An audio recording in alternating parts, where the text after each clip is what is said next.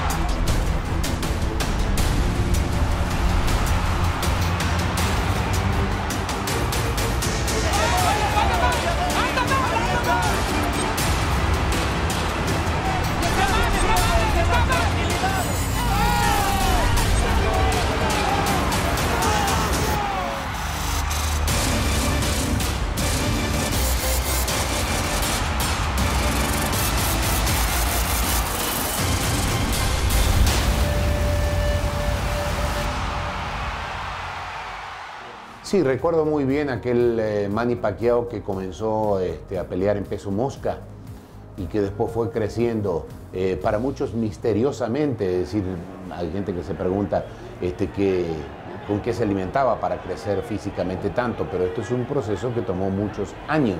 Estamos hablando del año 2000, calculo yo, ya se empezaba a dibujar el nombre de Manny Pacquiao, eh, no estaba invicto, pero esa nueva tendencia de, estallido de velocidad de potencia empezaba a circular un poquito. Todavía no se estrenaba incluso en, los Estados Unidos el nombre de Manny Pacquiao, tenía por ahí algunos visos en Asia y sonaba el nombre, pero como sonaba cualquier otro, nada en especial más que su intensidad y su velocidad.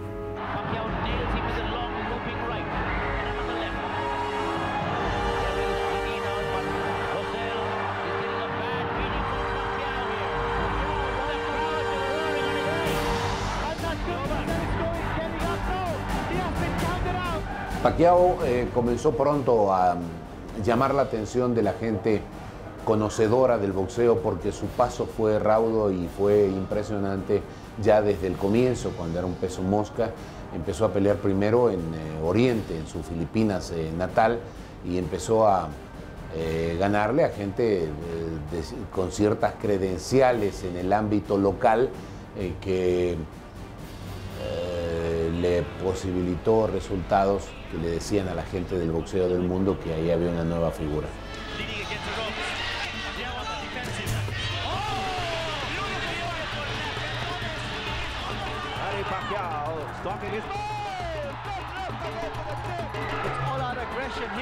coming from the 19-year-old boy.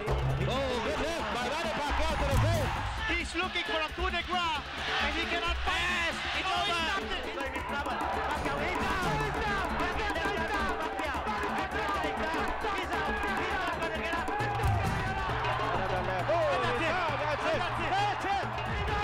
Un boxeador eh, privilegiado por naturaleza, con una serie de características que lo hacían bueno para el boxeo, aunque Pacquiao se ha transformado con el paso del tiempo para ser un boxeador mucho más completo como es hoy.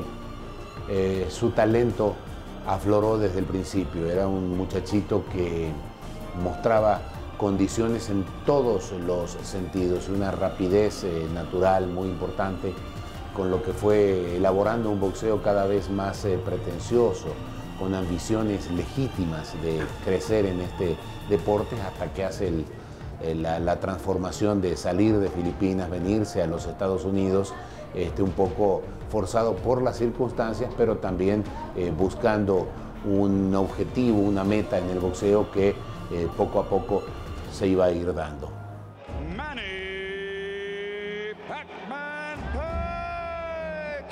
Manny Pacquiao, yo empecé a escuchar desde que peleó con Barrera, eh, las, peleas, las peleas que tuvo con Barrera. La primera vez que vi a Pacquiao fue contra Marco Barrera en el Mandalay Bay de Las Vegas. Eh, ya sabía yo que era un gran peleador por lo que comentaban. Yo recuerdo a Manny Pacquiao cuando peleó con, con Marco Antonio Barrera. Yo no había oído hablar de, de Manny Pacquiao. Yo pensé que Marco Antonio Barrera iba a ganar esa pelea por, por su trayectoria, pero pues eh, me sorprendió a Manny la verdad, su velocidad, su, su combinación de golpes y, también sorprendió a Marco Antonio Barrera, que yo creo que esperaba, pues no un pichoncito, sino que no fuera tan duro. No sabía nada, no sabía nada, por eso lo agarramos. De hecho, me, me ofrecían antes que él pelear con eh, Chololo Larios, pero como era mi, mi buen amigo, dije, no, ¿para qué? ¿Para qué pelear con Chololo Larios? Pero creo que me desvié mal. por no haber conocido a Manny Pacquiao, creo que resultó, resultó más difícil, pero bueno, Sí, recuerdo ese primer enfrentamiento con Marco Barrera. Recuerdo incluso, eh, esta anécdota es, eh, dentro de la pelea es, es interesantísima. Marco está queriendo salir eh, de, de la zona de combate de Manny Pacquiao, boxeando un poquito para atrás, tratando de concentrarse, ver cómo puede hacerle daño, porque Manny Pacquiao se le vino encima. Y entonces hay un momento en donde Manny Pacquiao quiere golpearlo y Marco le hace una finta, pero Manny tropieza con sus pies y cae. Y el referee le empieza a contar a Manny Pacquiao. Eso molesta a Manny Pacquiao de tal manera que se levanta, le dan el conteo, lo tolera y en el siguiente round sale a acabar con, con- con- con Marco Barrera. en San I Antonio. remember the first round that uh, I you stepped my, my foot and I got fall down. Yeah, you were And, down? Yeah, yeah. The, Yes, I the remember. referee count. Yes. But bad for me because you up uh, more angry for me, for myself. but was a very good fight. En verdad yo pues, no, no sabía nada de él. Eh, yo sabía por, por, por ser eh, de ojos rasgados que era un peleador bravo, que iba para adelante, pero pues yo sabía y pensaba que tenía la clave para poder golpearlo al cuerpo y- y- y poder minimizar la condición física que él traía, pero fue todo lo contrario, porque mientras más le pegaba, más se alimentaba de golpes, más fuerte se hacía. Eh, a decir verdad, fíjate que no, no, no fue eh, la impresión de verlo a primera vista, pero sí ya conforme fueron pasando los episodios. Me ganó alguien que, que, pues trascendió muy, muy fuerte en el boxeo. Más que la figura de Pacquiao, a mí lo que me llamaba la atención era ver a Marco Barrera perdiendo contra un filipino a quien yo no, de quien yo no tenía mucha referencia. Realmente me aficioné al boxeo gracias a, a- a que trabajamos en él, pero antes no era, no era, digamos, tan aficionado al boxeo. Vi a Manny Pacquiao, me sorprendió su rapidez y sobre todo, después de tener ese referente de Marco Barrera como un gran ídolo mexicano, me llamó mucho la atención verlo perder contra este filipino. Manny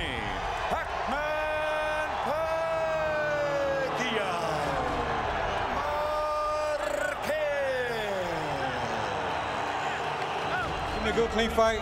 Remember, guys, I'm fair, but I'm firm. Touch him up. La primera pelea que me, me- me causó un impacto de, de Manny Pacquiao fue su primer enfrentamiento, el que tuvo contra Juan Manuel Márquez. Peleadores, peleadores en serio. Y ahí se tensan en furioso intercambio de golpes y se va la lona. Ya Manny Pacquiao tenía algún recorrido con algunos enfrentamientos que había tenido también con mexicanos. Eh, el Chololo Larios, por ejemplo, lo había enfrentado y habíamos visto que Manny Pacquiao eh, le había pasado prácticamente por encima. Pero como que era un mito. Y, de repente el asunto con Juan Manuel Márquez, cuando Juan Manuel parecía el favorito, pues Juan Manuel terminó por caer tres veces en el primer episodio. Y entonces vimos que Manny Pacquiao una realidad del boxeo. Juan Manuel era un boxeador que en ese momento pintaba con gran calidad dentro del boxeo, pero evidentemente nunca pensábamos que fuera a sufrir tanto con Manny Pacquiao. Juan Manuel Márquez se va la lona. Ahora con la mano derecha visita la lona, está tendido.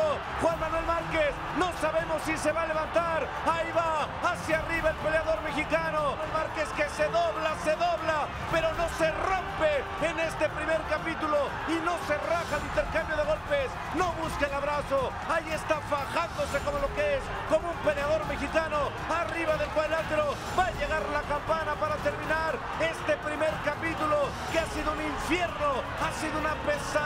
para Juan Manuel Márquez que va titubeante en su esquina. Me gusta que Márquez está haciendo por equilibrar la pelea. Tremenda derecha, casi se la arranca con ese impacto Juan Manuel Márquez. Yo no sé cómo está. Trata de fintar y encontrar el momento. Vea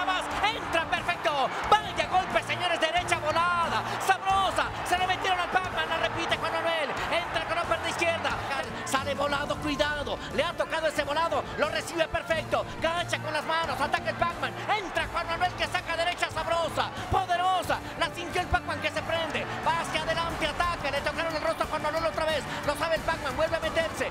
Vaya, tuvo que venir de atrás en una pelea donde Manny Pacquiao eh, eh, se comió seis episodios y después Juan Manuel hizo el resto. Eric, el terrible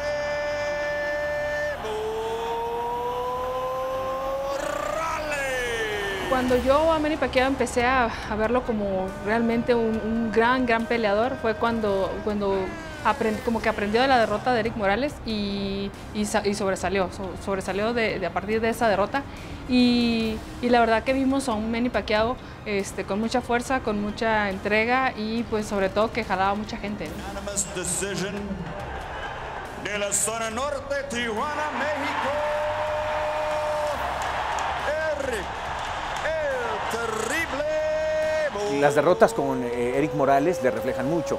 Tenía poco tiempo de haber llegado a los Estados Unidos eh, Manny Pacquiao, que cuando pierde con Eric Morales, la primera reacción que tiene es llorar en su esquina. Y él pide que no se vuelva a repetir.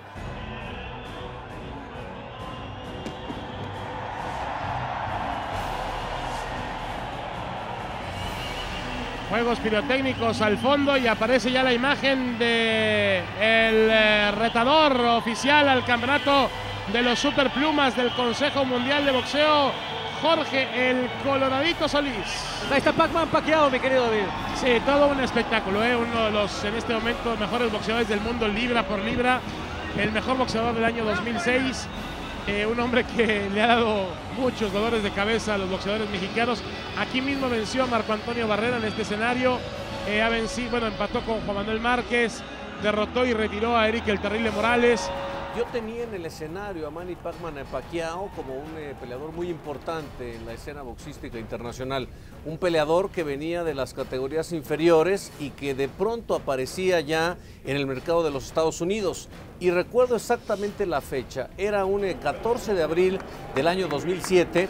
Ya habían iniciado las transmisiones de Box Azteca 7, la Casa del Boxeo, pero en esa oportunidad, en ese mes, yo fui eh, como periodista de otra fuente, aún no me integraba justamente a la Casa del Boxeo. Eso habría de suceder tres meses después. Y justo ahí, en ese combate donde Manny Pacman Pacquiao enfrentó a Jorge el Coloradito Solís, vi al Pacman.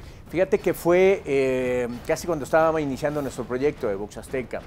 Eh, lo tuvimos en una transmisión donde apareció Manny Pacquiao para enfrentar al Coloradito Solís. Tratando de buscar el terreno largo y mandarle el primer envío. Está ajustando la derecha para mandar la cruzada. Y si no, meterle un upper, que es la zona que desprotege. Muy espectacular, unas llamas, ¿no? Fuego es lo que corre por las venas y el boxeo de este hombre.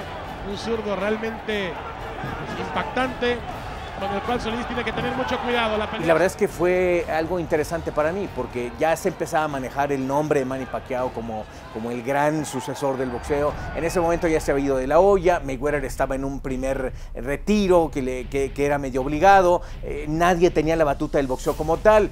Arriba del cuadrilátero, un portento, pero también vi el nacimiento de una estrella, de una figura que seguramente daría muchísimo de qué hablar. El Coloradito le mete una faena, una faena en dos episodios y en los siguientes tres Manny Pacquiao le metió una golpiza terrible. Termina cubriéndose hasta con las dos manos el Colorado Solís. Está herido Pacquiao, está herido. Ahora metió bien la izquierda, va con todo. Lo han lastimado. Pone a Solís contra las cuerdas. Lo tiene Pacquiao ahora. Solís se defiende como puede. Levanta los brazos. Viene la izquierda, la derecha. Pacquiao que parece mexicano. Pacquiao lo tiene. Arremete con derecha por arriba. Izquierda busca el gancho quedando la lona al mexicano. Lastimó a Pacquiao y eso se paga muy caro en el boxeo en la zona Solís. Y va con todo y lo tiene la lona. Lo tiene la lona Pacquiao. Lo tiene la lona. No se va a levantar. ¡Ojo! Se.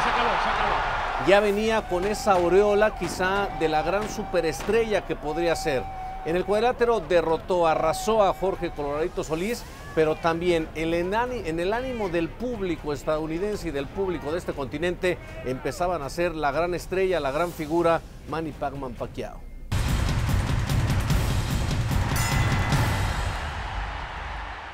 He's my idol. That's that's what I can say. He's my idol. And when I started boxing, I trained hard because you know I'm always thinking, I'm gonna be uh, like Julio Cesar Chavez, like that. Bueno, eh, la impresión que me dio cuando conocí a Manny Pacquiao por primera vez fue, eh, me llevé una, una, grata sorpresa, la verdad, porque eh, él estaba en su mero apogeo y, y, y, y, lo primero que me dijo fue que yo era su ídolo y la verdad me, me sentí emocionado, contento, porque pues no esperaba esa reacción de, él.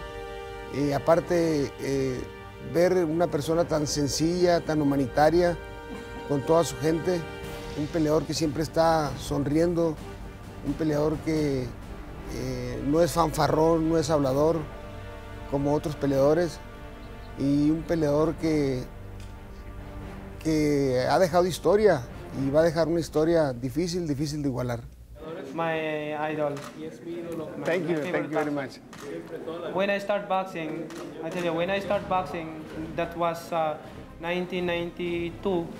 When uh, 1992, I have a lot of uh, uh, that before there's no DVD, so beaches. So I have a lot of uh, uh, beaches fight for with it. Ah, yeah. No, es que, es que dile, dile que, que, que Timothy no espera que Manny lo golpee en el cuerpo. Que Man, este, Timmy Tumpale va a estar esperando tu golpeo arriba, arriba, arriba, arriba, arriba. Entonces, si tú le combinas el golpeo al cuerpo, los primeros rounds, lo vas a desconcentrar y cuando menos piense él, le suelta los chingazos arriba y lo vas a noquear.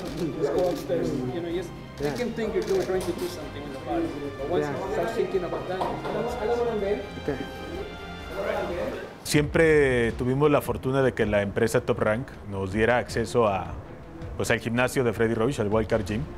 Y Manny Pacquiao siempre fue muy sonriente. Creo que cuando nos veía ahí, siempre eh, sabiendo que éramos mexicanos, de, de, la televisora mexicana de TV Azteca, creo que siempre se prestó para la broma, siempre se prestó eh, como una persona amable.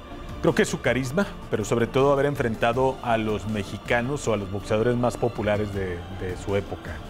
Ser un peleador tan carismático, con tan entregado también a la pantalla que finalmente el atleta no, el atleta popular no vive sin la televisión. Creo que Manny Pacquiao se convirtió en eso, en un hito que primero era el malo de la película porque vencía a los mexicanos, pero después, por alguna razón, los mexicanos lo adoptamos justamente por ese carácter tan afable que tenía y porque se puso un sombrero de charro, se puso un zarape, decía en español, trataba de hablar eh, algunas frases y decía eh, no quería volver a pelear contra otro mexicano, pero así pasan las cosas.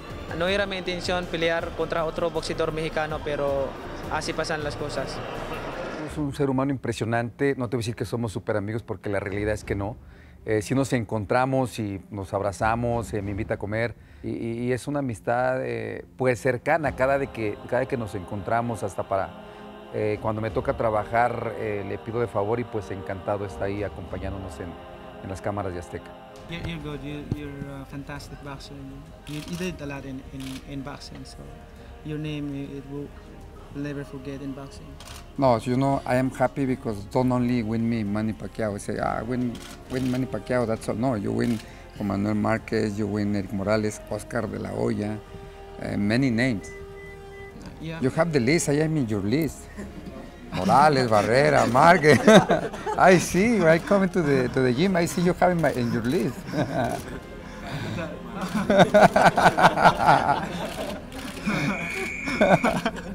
Va otra vez Manny Pacquiao buscando la combinación. ¡Fulminante! ¡Vaya impacto poderoso!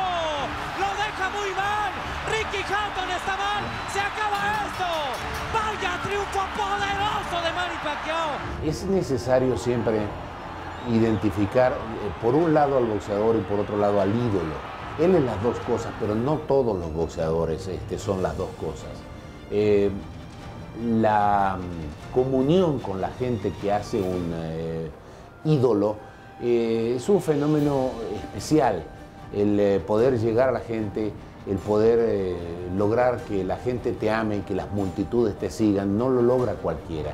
No solamente con talento se consigue eso, hay muchos boxeadores que han pasado por el universo este, del pugilismo profesional llenos de virtudes y no lograron que, la gente los eh, ame masivamente. Déjame darte un ejemplo de hoy.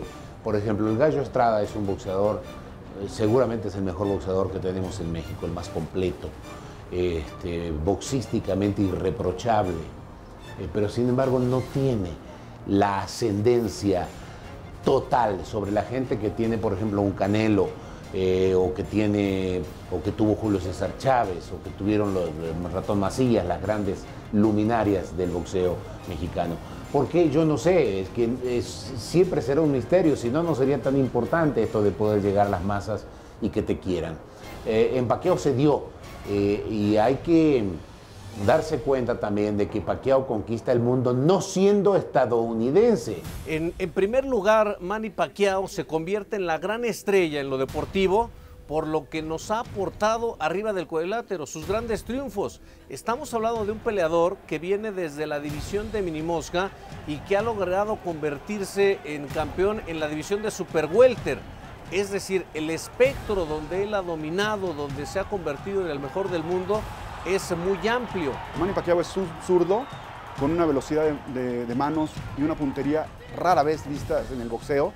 Combinar todas estas situaciones con una vocación ofensiva, con un estilo muy, muy comercial. Manny Pacquiao fue conquistando a la gente a través de sus triunfos, pero a través de su estilo.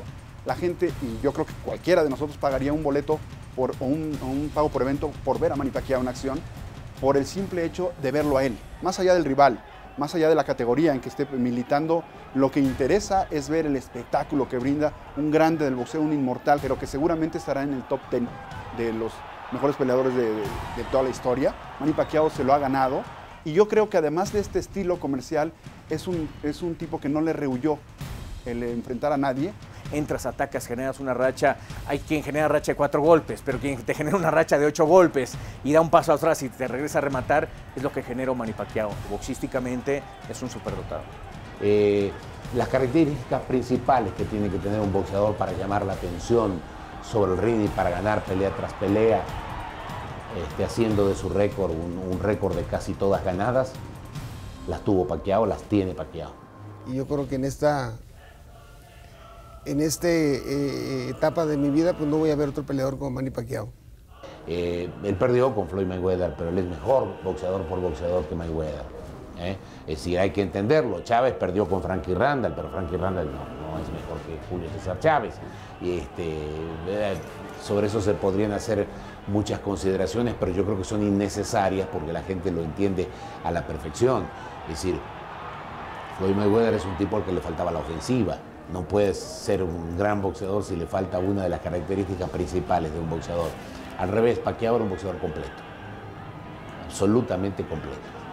Eh, no me pidas que te señale un defecto de Manny Pacquiao porque pues, yo no, no- no le veo defectos a un Manny Pacquiao que ha manejado las piernas con maestría, una velocidad impresionante, ese entrar y salir que muy pocos lo han hecho a lo largo de la historia, esa rapidez, ¿no? Entrar para pegar y salir para no ser conectado.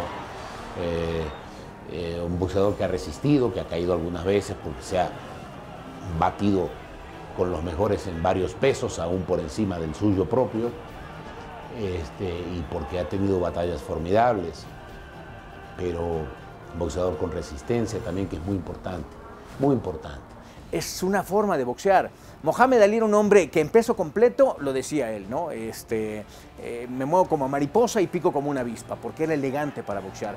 Sugar Ray Leonard tenía ese cometido, pero en las categorías welter, super welter y de repente mediano, super mediano es donde estuvo apareciendo Sugar Ray Leonard. Y, y en el caso de Julio César Chávez era la intensidad de boxeo, pero marcada en, el boxeo clásico mexicano, que es el, el- el fajador, el hombre que tiene muy buena técnica, le decían el cintura de goma, porque es lo que hacía Julio, muy parado de piernas, a lo mejor no tenía tanto avance ni tanta velocidad, pero tenía una intensidad de estar trabajando siempre por adentro y eso hacía que machacaba a sus rivales.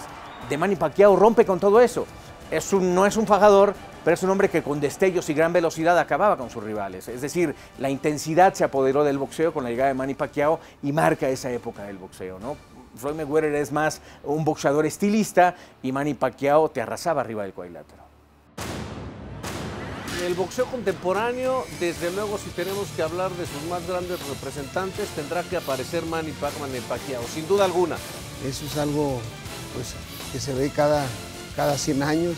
No, no, no, no, no, no. Pacquiao no puede ser considerado el mejor boxeador de la historia. Creo que eh, sí es el mejor de la historia.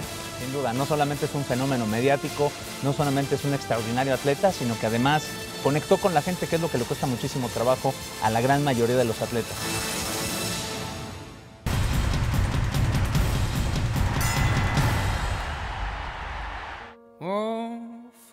Tell me, do we get what we deserve? Oh, we get what we deserve. La historia comenzó aquí, en un barrio marginal de Filipinas.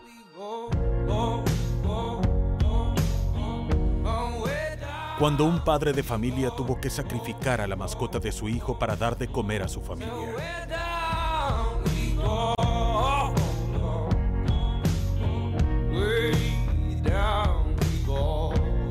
Pero aún viviendo la peor de las pobrezas, el espíritu de ese niño permaneció intacto, igual que sus sueños. Por hambre decidió pelear y encontró en el boxeo uno de sus más grandes talentos.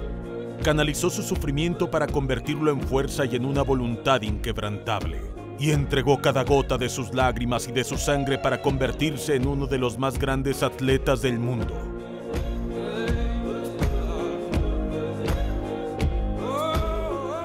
Lo ganó todo, y millones se rindieron a sus pies coreando su nombre.